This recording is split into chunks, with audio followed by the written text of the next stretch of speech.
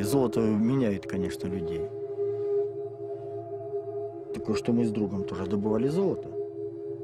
И вот у него появились признаки вот этой золотой лихорадки. Недоверие ко мне. Такую подозрительную задумчивость. Не смотрит в глаза.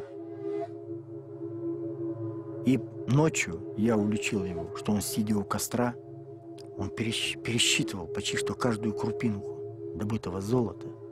И когда я, проснувшись, я спросил его, ты что делаешь? Он говорит, по-моему, ты меня обманываешь, ты не довесил меня.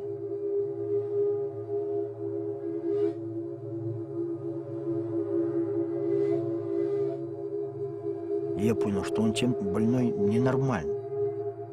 У него бессонница началась. Мы с ним расстались. Контракт разорван. Потому что он может практически за этот грамм золота просто любого убить.